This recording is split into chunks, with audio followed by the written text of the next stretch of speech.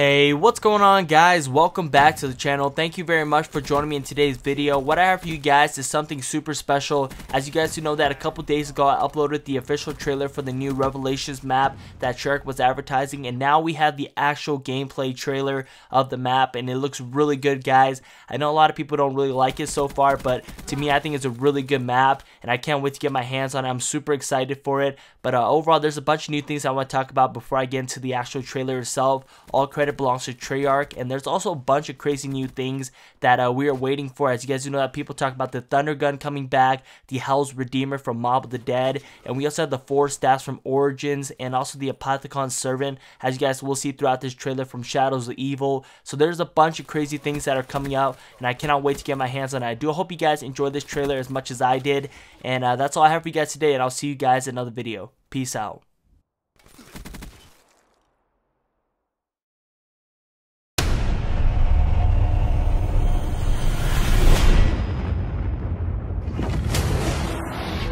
This brings back some memories. Not all of them good. Not any of them good, to be honest. I do not know if we can survive this place, but I will do my damnedest. We stand together, now more than ever. The final battle has begun.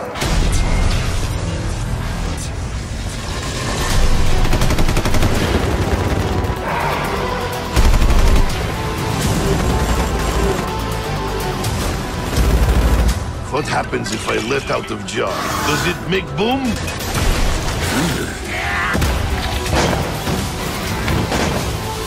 Just when you think the whole universe is against you, it throws you a bone.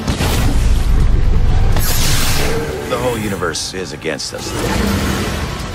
I have fought bears more scary than you. Choo-choo, freak bag! You contracted a severe case of gravity! Everything has led to this moment. Destiny is not on your side. It is on ours.